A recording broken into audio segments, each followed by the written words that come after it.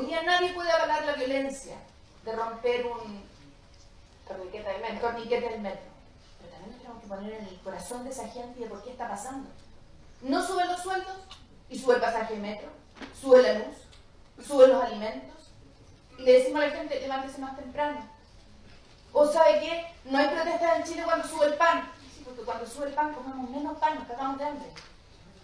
Pero no podemos no tomar el metro o tomar el transporte colectivo para ir al colegio, a la escuela y al trabajo. Eso no se puede.